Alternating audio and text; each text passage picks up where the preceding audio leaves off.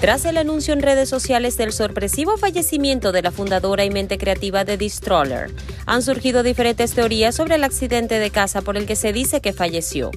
Usuarios de redes sociales comenzaron a hacer teorías al respecto.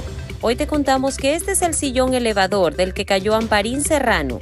Nadie imaginaría que uno de sus creativos espacios que se encontraban en su peculiar hogar sería el origen de un desafortunado e inesperado desenlace para Amparín Serrano. La noticia de su muerte se dio a conocer el pasado viernes 12 de agosto. Según el Universal, la actriz Minnie West se despidió e informó de la muerte de su mamá Amparín a través de redes sociales al calificar la emprendedora como su héroe e ídolo. Mamá, escribo esto con el corazón hecho pedazos sin creer que esto es verdad, se lee en la cuenta de su Instagram.